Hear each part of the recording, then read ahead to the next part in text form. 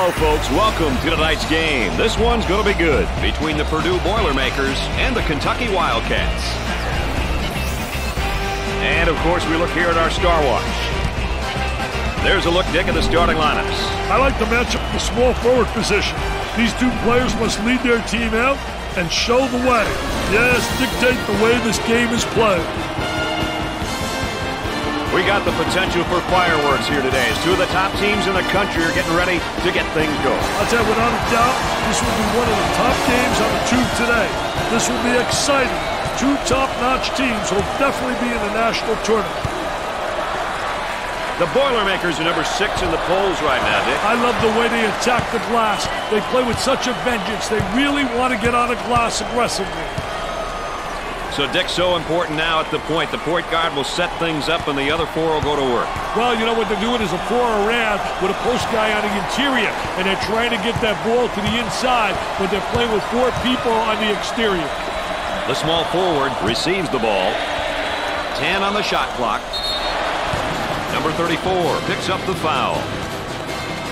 Oh, it looked like he had an easy basket coming up, but the defense commits a foul instead. Great play there, Brad. He was able to foul him in order to prevent the easy basket. You know, seniors are a dying breed in college basketball these days. If you're a coach that's lucky enough to have a couple, it can definitely help you sleep at night knowing there are guys in your team who know what you want and know what it takes to be successful.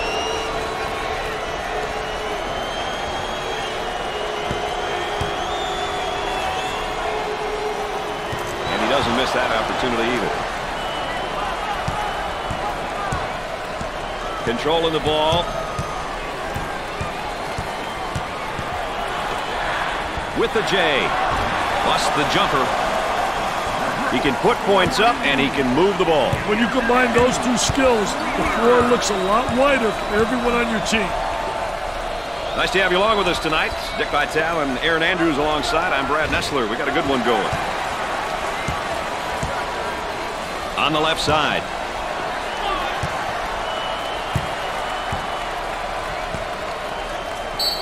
Tries to draw the charge, and that's a foul, Dick. I'll tell you, no doubt, a good call. The defensive player gets called for the foul. Oh, and he's not going to be happy with that call. Well, silly foul right there, but look at his face.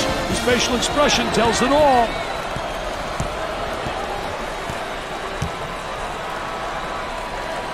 Let's watch the move as he works his man and on a fadeaway jumper. Number 55 with the foul. Well, if there is such a thing as a good foul, that was probably it. Sure was, Brad. He fouled to prevent the easy basket. Another great sophomore right here, Dick. Brad, he's got that first year of experience under his belt. So this season, his team is going to be looking for him a lot more.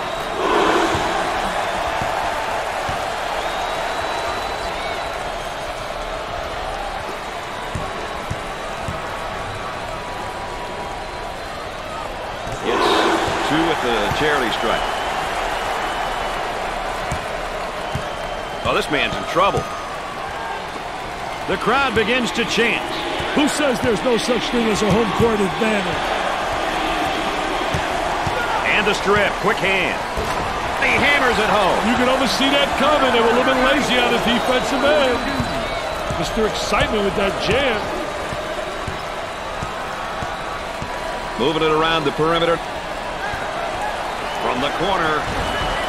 Jumper won't go. They wanted an offensive interference call and don't get it. And we're at the eight-minute mark. Washington receives the pass. Plus the J.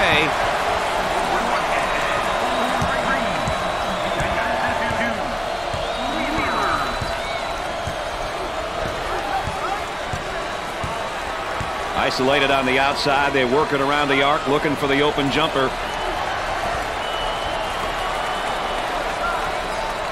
The turn, a fadeaway jumper. I tell you, uses the ball really well, too, in terms of putting it to the deck, turns, spins.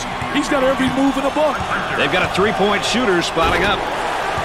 I tell you, nothing like having those legs, man, where you bounce right off the floor.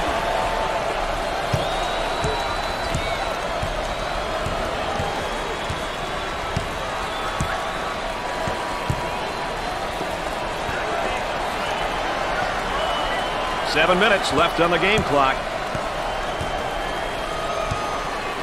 They work it around the perimeter. For the bucket. Gets it to go.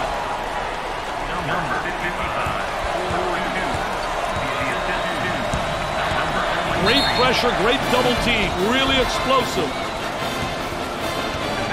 Well, it commits an intentional foul there to prevent the easy basket. Well, it's a smart play, Brad, especially if you can afford to use a personal foul. I like his mentality. No easy baskets. Here's another solid junior, Dick. You know, by the time you're a junior, you know what your coach expects from you. It's a matter of bringing it every day.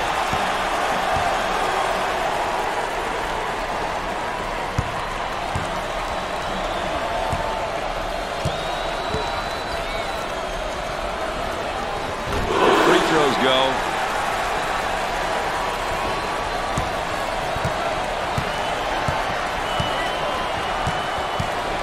A little two-man action. We'll stay right here. The offense begins off the sideline inbounds.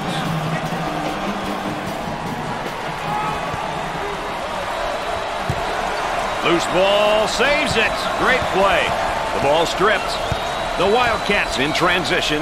The Wildcats now running a zone offense. Well, the key to zone motion offense is you got to get good ball movement. If you get good ball movement to get the zone to really slide and use the skip pass to make it tough for that zone to adjust. Excellent spacing. That's so important to a good offensive set. It's even more important to have talented guards they have. Yeah, that helps. Goes up for two. He gets the bucket to fall. Good job. He gets the rejection. Wheeler is down emotionally right now, Dick. Someone may have to talk to him. He needs to get back on track. Drains it.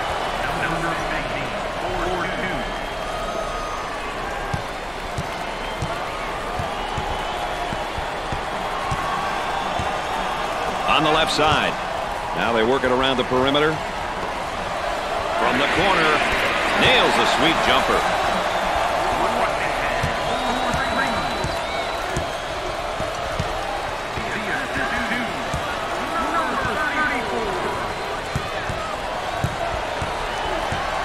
Takes the pass in the paint. Tries for two. That one's off. On the left side. About five minutes remaining. Washington handles the pass. He puts up the J. He misses the J.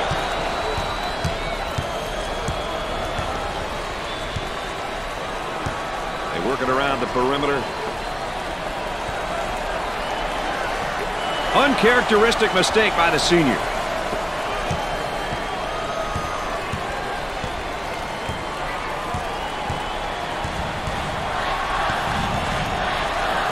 Outside. He wants a three. Can't connect.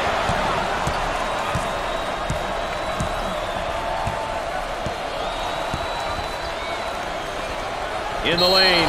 Wheeler picks up the defensive foul. First personal foul. Well, I don't know if there's such a thing as a good foul, but that might have been one right there, Dick. Hey, Mr. Nessler, I like that type of play. He's saying to the defense, no easy baskets for you. We're going to force you to make shots. And here's a look at the first-year play. You know, playing at this level can be a tough adjustment for some kids. Others make the jump look easy. It all depends on what kind of team you have around you and how hard you are willing to work to get better.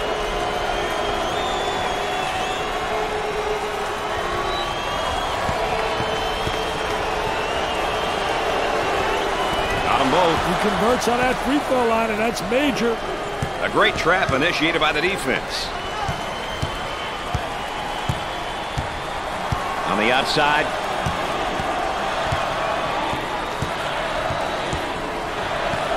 They go with the entry pass on the post. Turnaround jumper. I tell you, what a nice turnaround jump shot. Soft as velvet, fading away, impossible to block.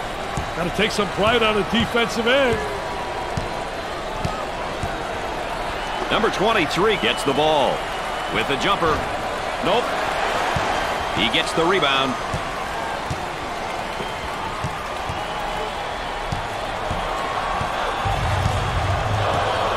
Get that ball movement, get that good spacing.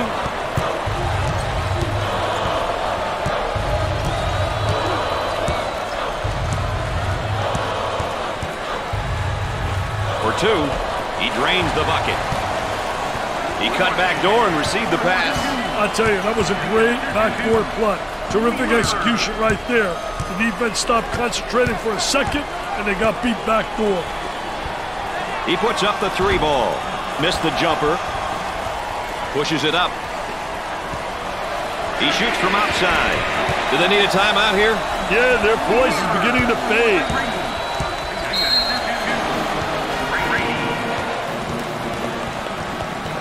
And they burn a timeout here. We'll have more NCAA coverage coming up in a moment.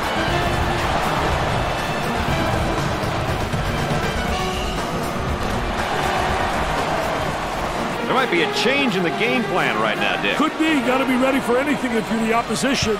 The Boilermakers now running a zone offense. Boy, I'll tell you what, man. The zone motion offense creates a lot of opportunities if you get ball movement and player movement. If you get people to step into the gaps of the zone and reverse the ball, you'll get good shots.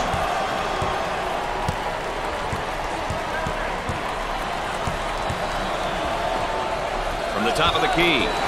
He can't miss. Hey, this young man's feeling it, Brad. And they go into their motion offense, working with four around one here. I tell you, the four around one is keyed by the big guy inside, but the four people on the perimeter better be able to make perimeter shots. And it's great when you got a big guy who has the multi-talented ability to step out and make the open jump shot. Two minutes left on the game clock. Nice pass to the low block.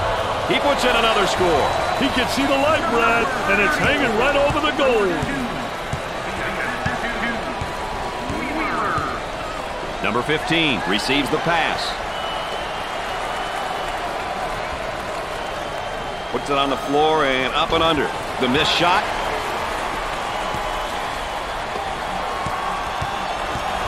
It looks as though they have a shooter spotting up. Looking for a good shot.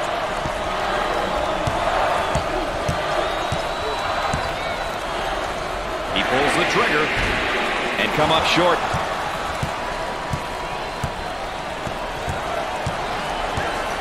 Working it around the perimeter.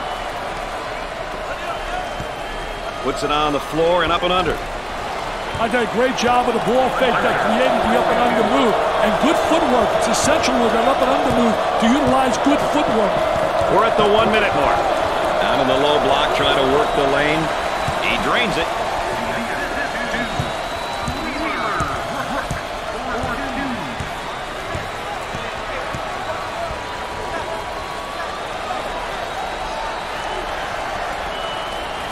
They'll work it around the arc.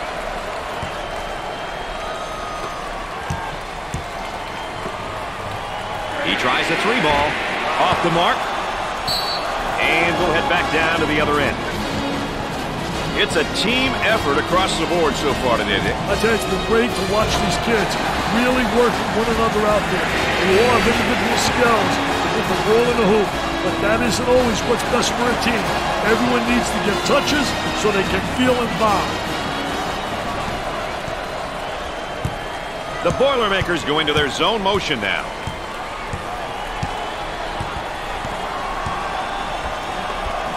On the wing for the bucket. He hits the shot. They're going to move it around the perimeter. Goes up for two. He can't get the bucket to fall. And now getting set up here in a four-round one. I tell you, the four round one, spacing's a key.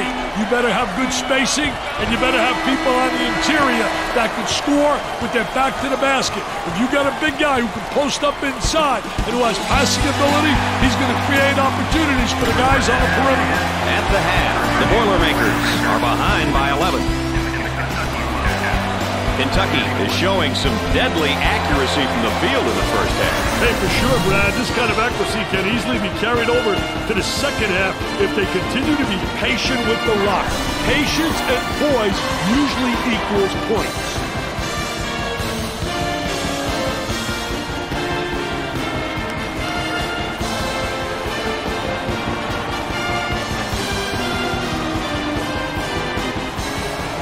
Going with a man-to-man -man full court press now, Dick.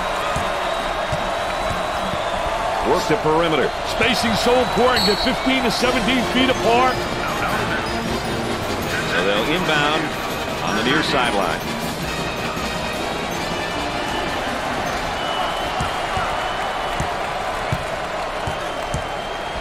Look at that spacing.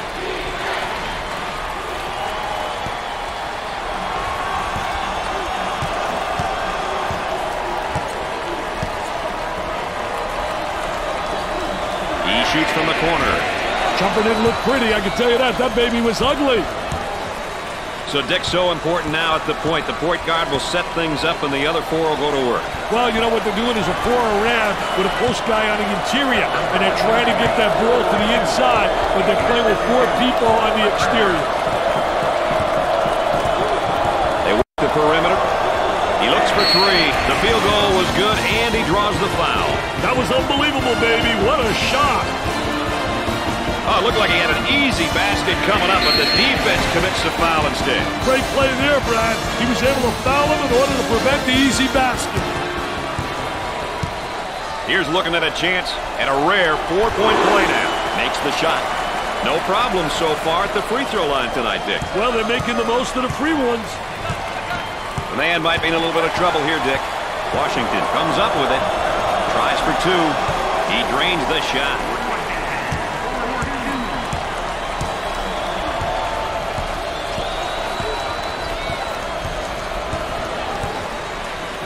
Number 23 takes the pass. He bombs from outside. Jumper won't go. Both teams are looking to get something going here. From downtown. Missed it.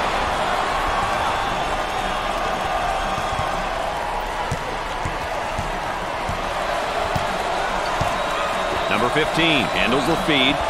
They go into the low block. He shoots the jumper. Scorches the net with a J.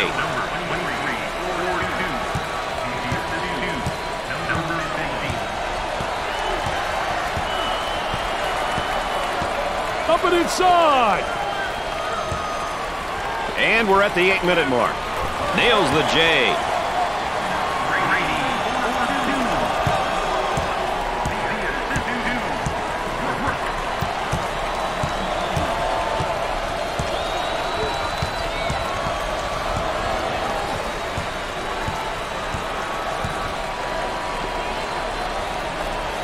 Looking for a good shot.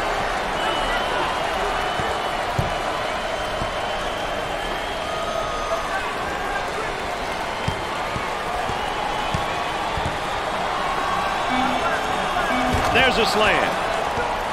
At least you make the highlights letting him do that.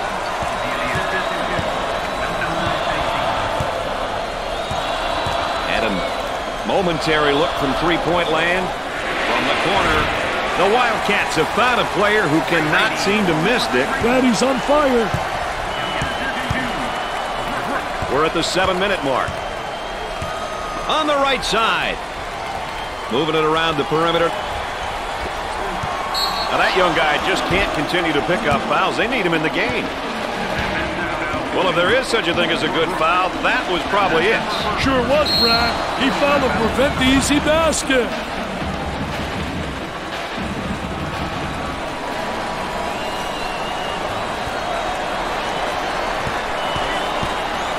I'm not sure this is the guy you want to send to the free throw line. He really knows how to focus in on the target during free throws.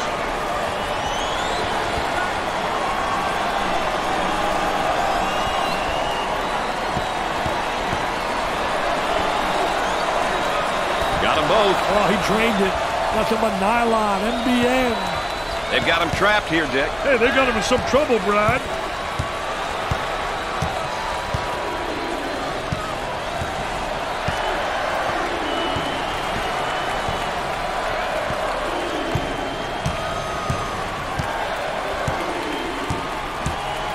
Three-second violation. Better watch your feet.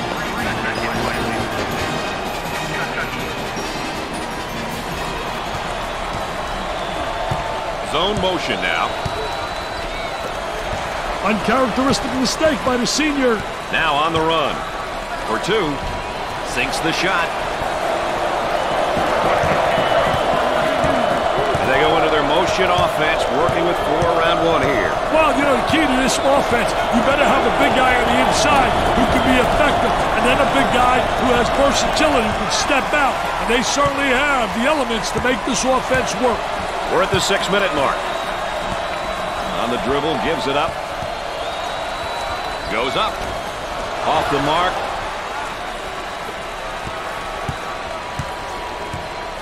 Gave it up.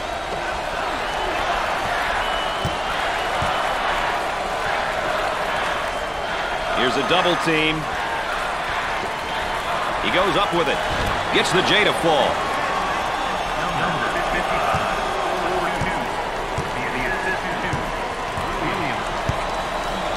On the right side. For the bucket. Off target.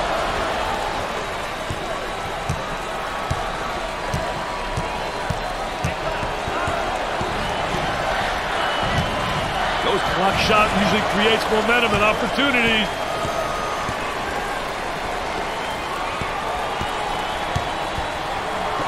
Bad decision there by the freshman. The small forward with the ball. Five minutes left in the game clock. Isolated on the outside. They're working around the arc, looking for the open jumper.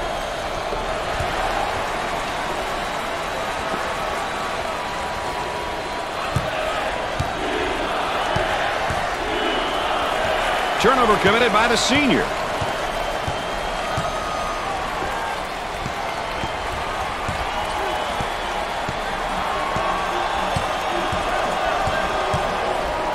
Fed the low block. Goes up with it. Missed the jumper.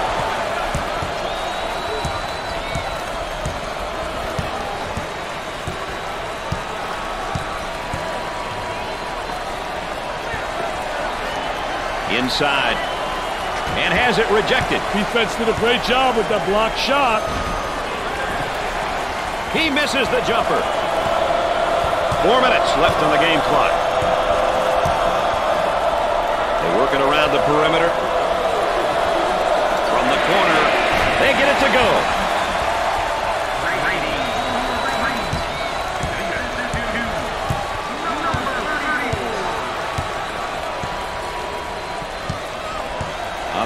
Gives it up.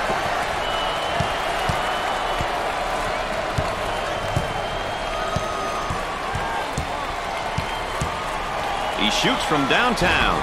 Nope. They got the offensive rebound and the stick back.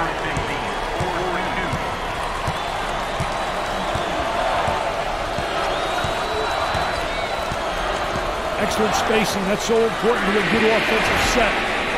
Even more important to have talented guards like they have. Yeah, that helps.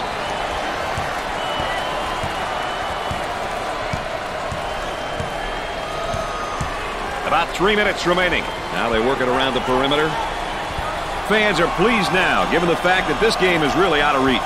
It's almost an expectation, Brad. You're supposed to win your home games, but winning by this amount, my goodness.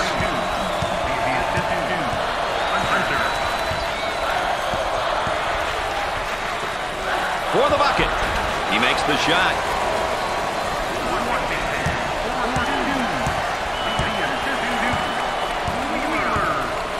Inside. And it's knocked away. Great block.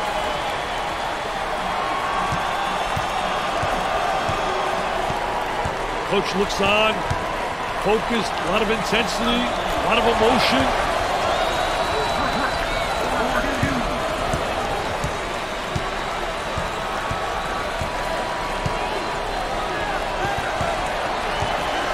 The student body looks to be full with rage and willing to cheer on the old home team. They're rocking right now. My goodness.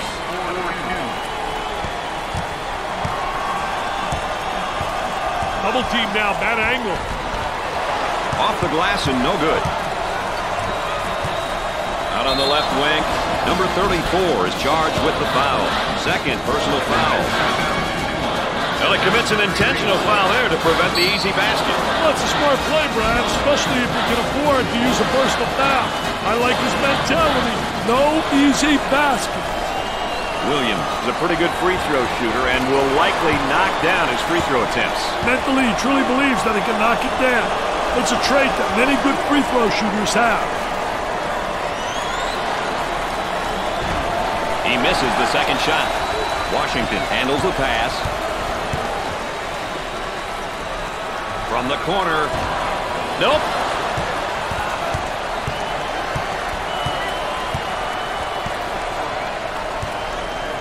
They work it around the perimeter. For two.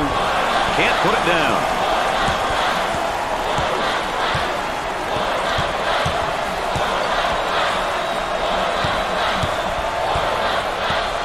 on the outside. And now there's a whistle and a foul.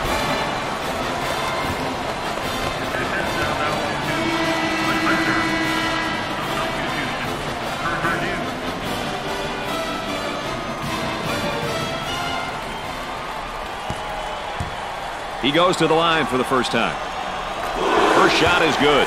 They're seeing them all fall from the line tonight. That's a crucial plus down the stretch, Brad.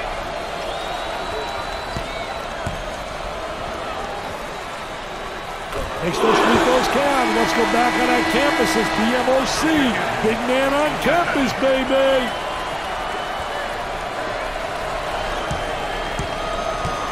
On the outside, we're at the one-minute mark. Now the turnaround jumper. He misses the J.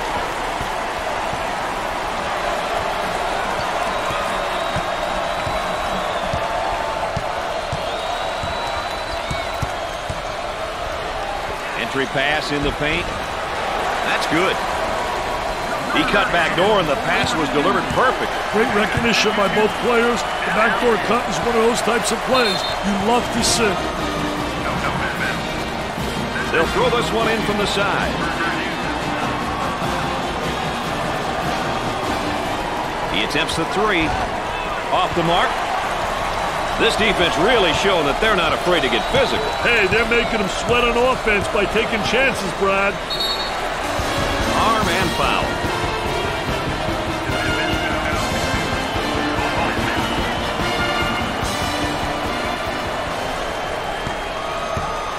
At the free throw line. It's the first. They're shooting extremely well from the stripe tonight, Dick. Yeah, they're making their coaches look good for making them shoot extra free throws every day. And he got them both. They have found their stroke at the stripe tonight, Dick. This has always been an excellent free throw shooting bunch. He may be in some trouble here. For the bucket. He comes up empty. Number 10 receives the ball. And now getting set up here in a four-round one. I love the four round one, especially when you got a big guy who can pass the ball exceptionally well, as well as score. Now you got to give help on him, and it leaves people open on the perimeter, and they better be able to make that open jump shot.